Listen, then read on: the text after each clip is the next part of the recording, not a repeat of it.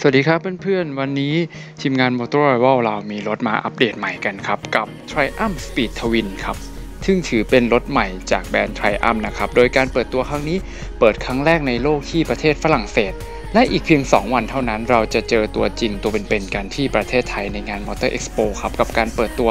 ครั้งที่ 2 ของโลกในประเทศไทยนะครับ สำหรับในวันนี้เรานำคลิป teaser มาฝากให้รับชมกันก่อนครับ แล้วอีก 2 วันรอติดตามกันได้เลยครับ ทั้งในส่วนของ Facebook Fanpage Motor Rival แล้วก็ YouTube Channel Motor Rival ของเราครับสำหรับข้อมูลของเจ้า Speed Twin ทางเราลงรายละเอียดใน Subscribe ด้านล่างให้เรียบร้อยครับ สามารถคลิกอ่านรายละเอียดกันได้ แล้วเจอกันอีก 2 วันข้างหน้าครับ For